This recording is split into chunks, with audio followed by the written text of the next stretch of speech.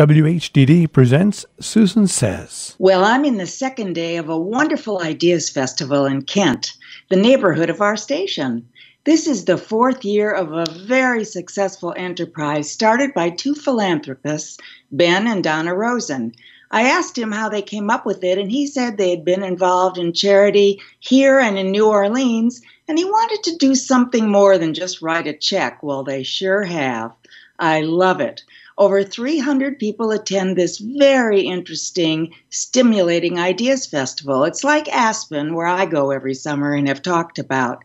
The proceeds with sponsorship all go to the community organizations here in your neighborhood, and it's supported by grateful citizens as well.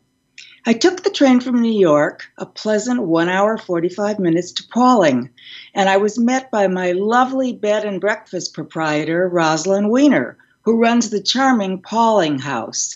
It's a B&B and oh, I love it. I had my own little annex house. The place is filled with lovely period furniture. The charm and the grounds are lovely. She made it like home, and the mattress to die for. I wish I could take it with me. It was like the princess and the pea.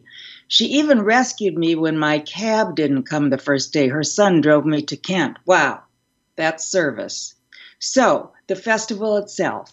It's held on this really neat campus, Kent School. Wow, what a campus! How lucky those kids are. In fact, many of the same speakers who have appeared in Aspen and the topics, the things that we are all interested in these days politics, China, the Middle East, technology, and then small things like the big picture of life's meaning and the universe. Honestly, that's one of them.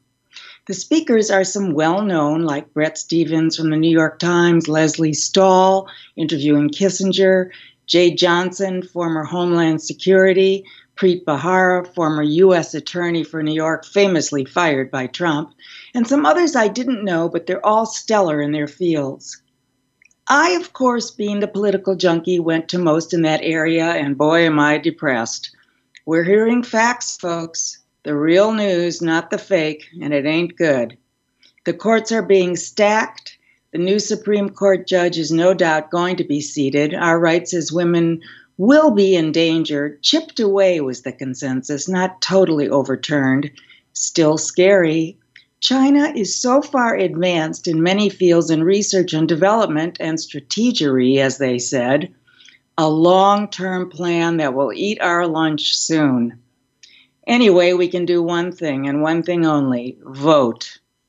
I missed a lecture on psychedelics that seemed fun. A guy who took some mushrooms and discovered a new way of looking at things. I believe it. But he also talked about the modern medical uses. I could use something after hearing about the lack of hope of our political system every day. Oh, Lord. A woman who had worked with Deranged Donnie, as I call him, was here, and I tried to get some dish. But all she said was he cares only about himself. Well, duh. But she's still friends with him. Why? Why indeed? Goodbye to part one.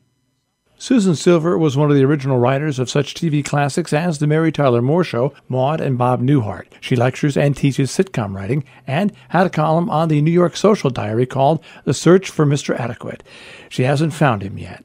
Appearing on TV and radio often, she expresses her views on life and opinions on everything.